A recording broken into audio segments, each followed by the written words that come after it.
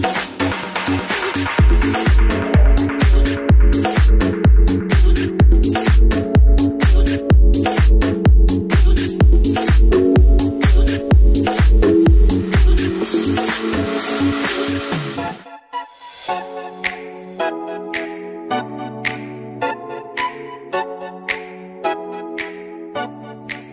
เรียกได้ว่าเป็นแบรนด์น้องใหม่ที่น่าจับตามองมาก ๆ เลยละค่ะสำหรับผลิตภัณฑ์แบรนด์มาดามชวนชม โดยดวรวลัญช์บอสสาวคนสวยมากความสามารถ อีกทั้งนะคะยังเป็นผู้บริหารโรงงาน Cosmetic Queen โรงงานรับผลิตและสร้างแบรนด์ชื่อดัง กับการเข้ารับรางวัลการันตีคุณภาพมาตรฐานของผลิตภัณฑ์ในงานมอบรางวัล Top Brand Award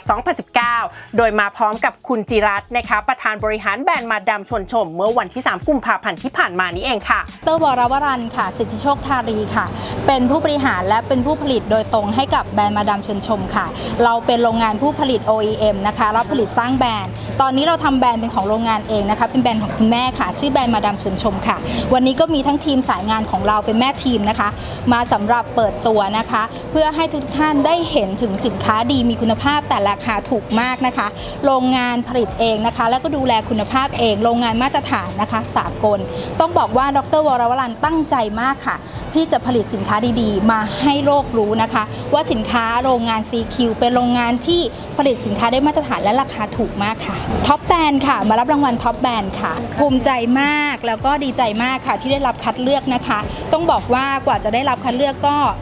กว่าจะผ่านด่านเยอะมากจริง ๆ ค่ะ ภูมิใจมากกับรางวัลนี้ค่ะ ต้องบอกว่าดีมากค่ะ ยอดขายใน 3 เดือนที่ผ่านมาก็เกือบจะล้านชิ้นแล้วค่ะ ปัจจุบันนี้ค่ะค่ะมี AEC ด้วยค่ะ ปัจจุบันนี้เราส่งออกด้วยนะคะ ที่บอกว่าล้านชิ้นใน 3 เดือนเนี่ยเพราะเราส่งออกทั้งพม่านะคะ ทั้งลาวค่ะ กัมพูชาค่ะ เราทำการส่งออกด้วย และเราก็รับผลิตสร้างแบรนด์ให้กับลูกค้าที่ส่งออกด้วยค่ะระบบหมดเลยค่ะ ต้องทั้ง off และทั้ง on เลยค่ะเป้าหมายของเราอยู่ที่ 200 ล้านค่ะ ปีนี้นะคะมีค่ะ product ที่จะออกเพิ่มเติมอีกประมาณเกือบ 36 ชนิดค่ะ ใช่ค่ะเป็นโปรเจกต์ที่ใหญ่มากค่ะ เป้าหมายเราคือ 200 ล้าน จะเป็นแนว skincare ในส่วนของเป็นทั้ง body แล้วก็เป็นทั้ง face ค่ะ มีแบบ natural ด้วยค่ะ มีแบบสมุนไพรด้วยค่ะ แบบ one stop ค่ะ ครบเลยสวยจบในมาดามเชิญชมค่ะ ต้องบอกว่านะคะแอดไซน์นะคะ CQ 0 1 0 นะคะ ทั้ง Line แอด Official นะคะ แล้วก็ทั้งเพจด้วยนะคะ พิมพ์แอดไซน์ CQ 0 1 0 นะคะ จะพบกับดรวรวรันหรือเจน่ารักนั่นเองค่ะและสำหรับใครที่สนใจ